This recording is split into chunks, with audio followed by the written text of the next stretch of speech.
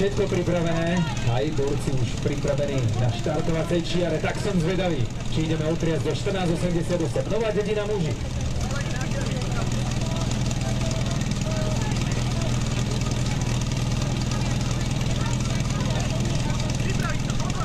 Mohlo by to výjsť, nová dedina rozvrknutá do svojho pokusu. Košík tam je.